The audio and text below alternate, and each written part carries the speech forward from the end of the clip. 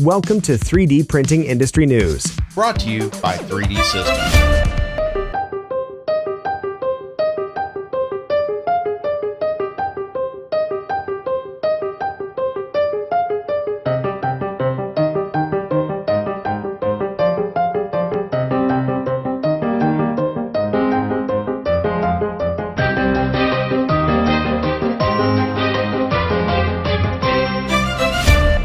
Here at the um, Inside 3D Printing Show in Santa Clara, and we have uh, Espen Sivertsen from uh, Type A Machines.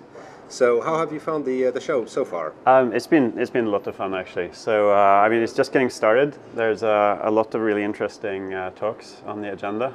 Uh, we were in yesterday just uh, holding a workshop. We had about 20 people come by, and you know they're all interested in 3D printing. They're all excited about all the new technologies coming out, and I think you know days like today and, and, and this week really just show how incredibly quickly the industry is advancing uh, not just on the hardware side, but also on the software side, and in terms of the services and, and, and the whole community sort of, you know, really moving quickly forward.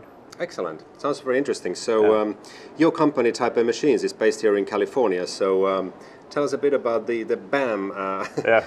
BAAM uh, cluster of 3D printing companies that you're now part of. So, so we created uh, what we're calling the Bay Area Advanced Manufacturers, or BAAM for short. Um, and really, what it is, it's uh, an attempt to start gathering different parts of the industry under one roof in order to give our users more of a you know full tool chain uh, when going from idea to object and from prototype to market. And um, so what we've done is we've got 12 different companies now moved into an old uh, Ford plant uh, just south of Oakland Airport in San Leandro.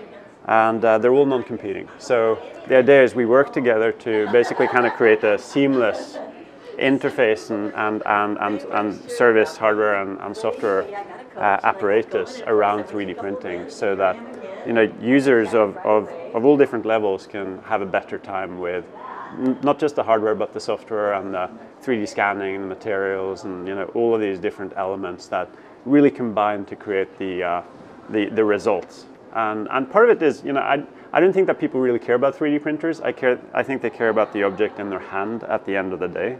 Yeah. And so what we're trying to do is to make that part easier. And then everything else just becomes more of a seamless back end. Sure. Yeah.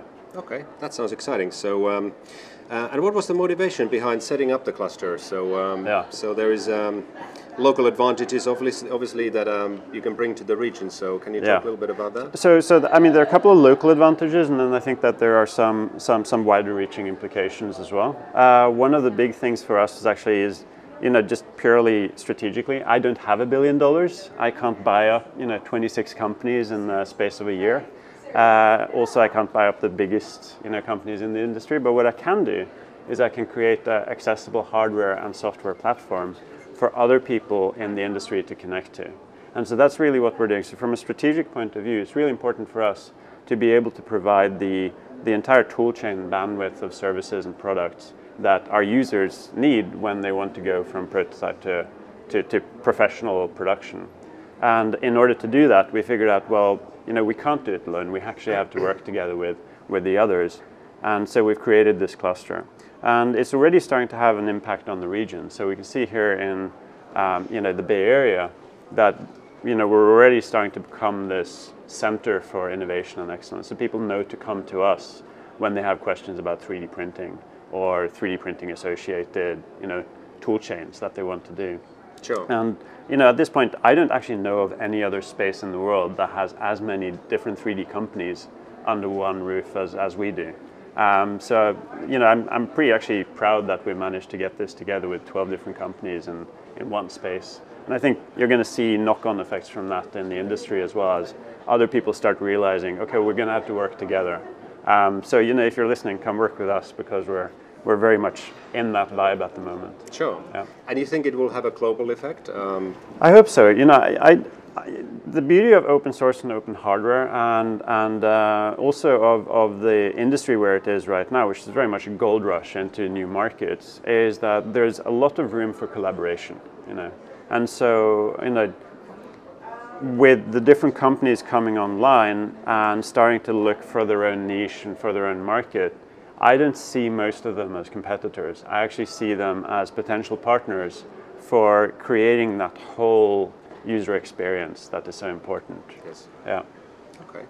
Very exciting. So, what is next for your company? Uh, any new uh, 3D printers coming out, or Uh, maybe. So let us in? I, I don't want to say too much about the 3D printers. Um, hardware is happening, and there's a lot of new developments happening on the hardware side. But actually, one of the biggest things that we're focused on right now is the services.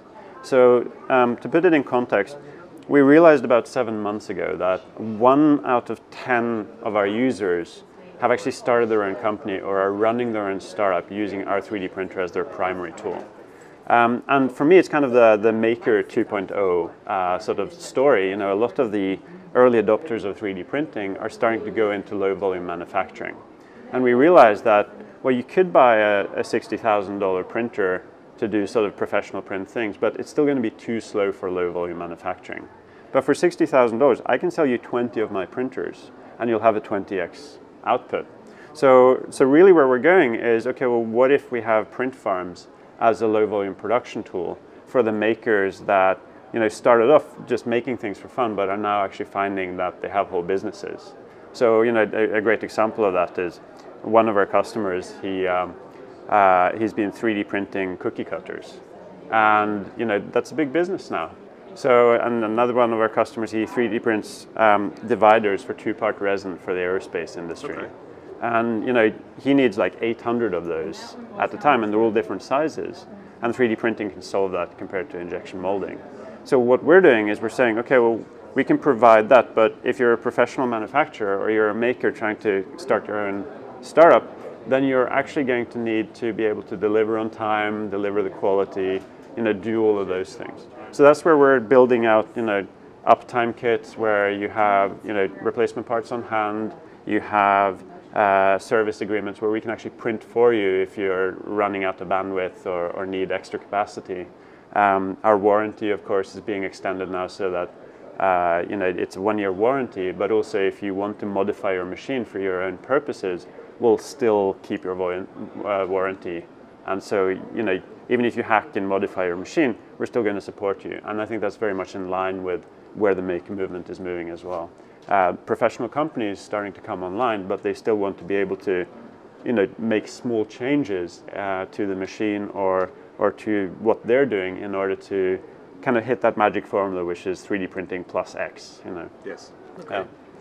Very good. So, thank you very much for the interview, and uh, I wish you a very uh, successful rest of the show. Oh, it's been fun so far. So Thank I'm you. sure it'll be it sure you. will be great. Yeah. Thanks for watching 3D Printing Industry News TV, brought to you by 3D Systems.